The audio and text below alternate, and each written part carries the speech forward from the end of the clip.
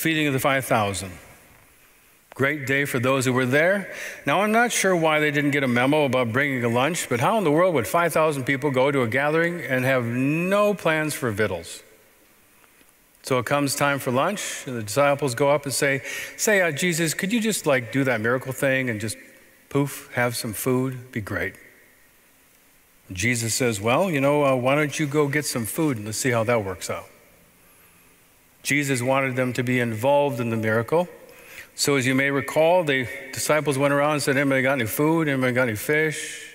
They get some loaves of bread and some fish, bring it back to Jesus, and just like that, Jesus did the miracle thing enough food for everyone to eat, and somebody also had some doggy bags to share.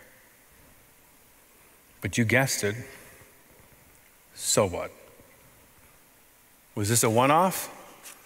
Cheerio for those who were there, but what about us? Well, actually, the good news of the gospel is the feeding of the 5,000 is intended to be a miracle that's replicated here and now. That you and I are called to feed the hungry and make a miracle of having everyone be satiated. You see, my friends in Christ, when that is the case, the Holy Bible is not a history book.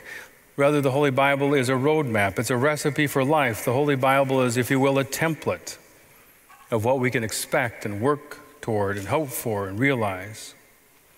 Take, for example, today's gospel when before Jesus makes his way to the cross, and for those of you who have been going all the time, we've been talking about the farewell discourse that Jesus says goodbye and goodbye and goodbye and goodbye. Well, this is the last goodbye. And he says, before I say my last goodbye, I'm going to give you a gift, the greatest gift.